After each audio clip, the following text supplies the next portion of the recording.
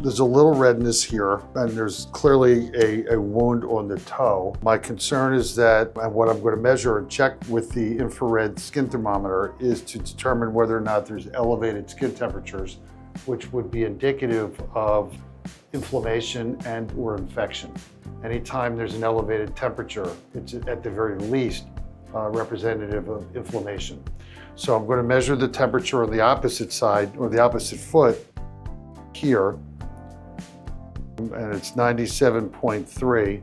Then we're going to go to this foot, the identical place, and it is 96.6. So that's good. Okay.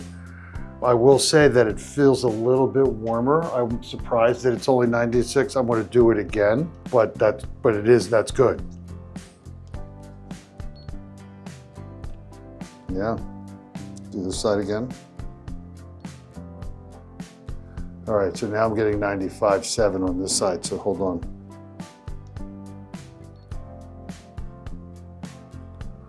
And then what we do is we compare the difference between the affected side. So it's roughly about a degree warmer on this side. Um, a degree gets my attention in terms of elevated skin temperature, but it doesn't like, I don't freak out yet with only one degree difference between the two sides.